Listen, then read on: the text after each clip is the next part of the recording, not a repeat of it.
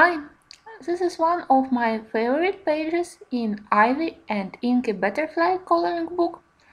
I love that we have so many interesting objects here.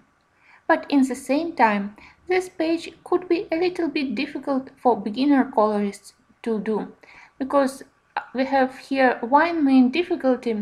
We need to do the background which won't be distracting attention from candles, chests and other jewelry.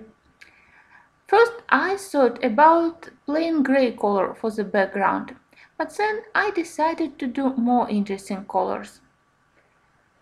When I just switched from budget children pencils to more professional sets, I was so happy to find pencils of beautiful, complex, unusual colors, you know, like pink gray or pink beige or gray blue, green brown, which usually aren't uh, available in smaller children's set.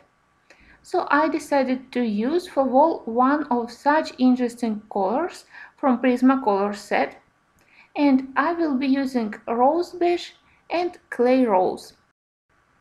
They are both very similar colors like rose with gray undertone, but clay rose is couple of shades darker. I start my coloring with rose beige and I color areas which are closer to the light of the candles.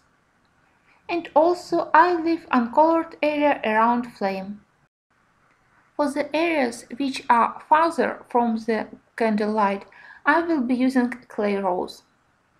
And these colors are very versatile. You could combine them with violet, with gray colors, with brown colors, and all mixes will look natural and soft.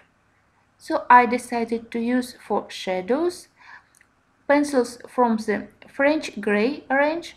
I think that I will be using two colors which are 70% gray and maybe also 90% French gray.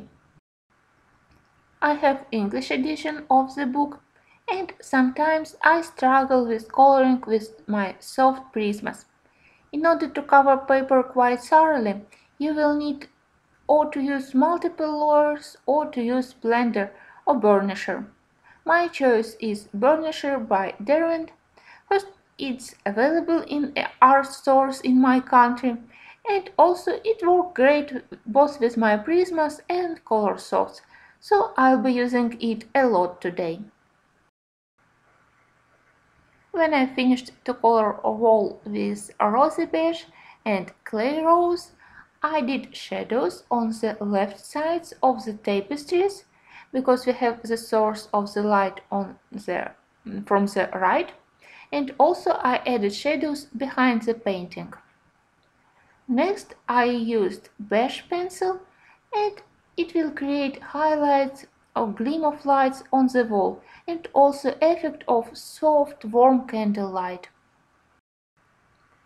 Sometimes I notice one small mistake from beginner colorists.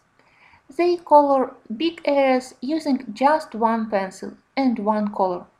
But you know that in reality, even in one color, we always have many shades and hues. So if you color something, at least with two similar colors, your painting will look much more professional. And that's why I also colored some areas of the wall using greyed lavender, another great match to rosy beige and clay rose colors. These were all my hints and advices about how to start coloring this beautiful but quite complicated page. I hope that you find them helpful and that you will join me in the next parts. Thank you for listening and for watching. In the next part we will color something more interesting, maybe painting and tapestry.